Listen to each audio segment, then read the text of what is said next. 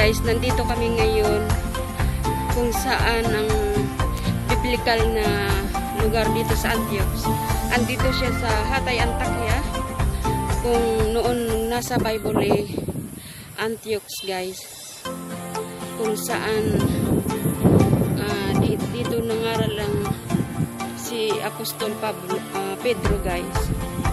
Dito sa lugar na to guys. Ah, ang sabi nga eh,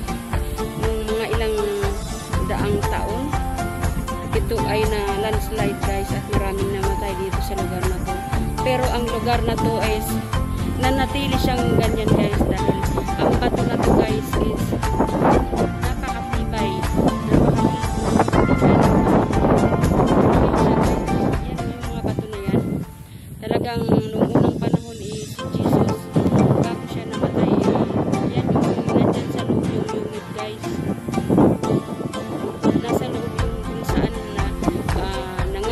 salita ng Diyos si Apostol Pablo.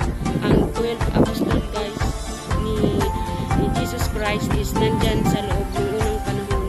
Diyan sila nangaral nung may problema, nung time na inuusig sila. Diyan nangangaral sila. Diyan sila nangaral. Diyan sila nakitipon-tipon sa lugar na yan. Ano na bato na yan. Napaka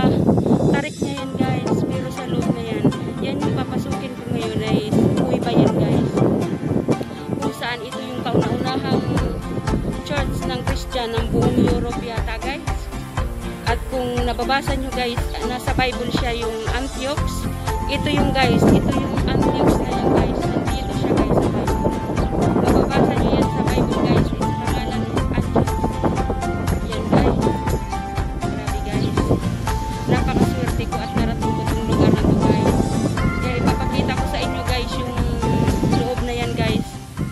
Napakaganda niyan guys. Ayan guys. Oh. Is buhay na buhay guys. Ang salita talaga ng salita ng Diyos is buhay. Dahil hanggang ngayon guys, nandito pa rin siya guys. Dinadayo to guys ng mga Christian guys. Kung saan yung iba't ibang bansa is nakakarating dito sa lugar na to guys. Dinadayo nila to guys. Parang ano siya guys, eh, kuiba siya. Pero napakatibay ng mga bato talaga na yun guys. Mamamangha ka pag nakita mo yan guys. Kaya buhay na buhay pa to guys talaga. Kaya mamaya papasukin ko ang loob na yan guys.